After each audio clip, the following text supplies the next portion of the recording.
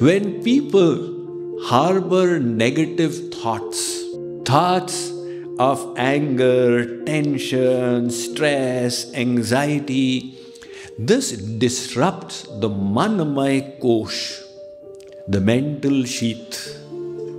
That disturbance then agitates the Pranamay Kosh, the vital energy sheath. That agitation then manifests in the gross body, the Annamay Kosh, as disease. So, those who wish to learn to be truly healthy they must not just do yoga asanas, they must also learn the art of mind management. Look at the consequence of thoughts. They are impacting every aspect of our life.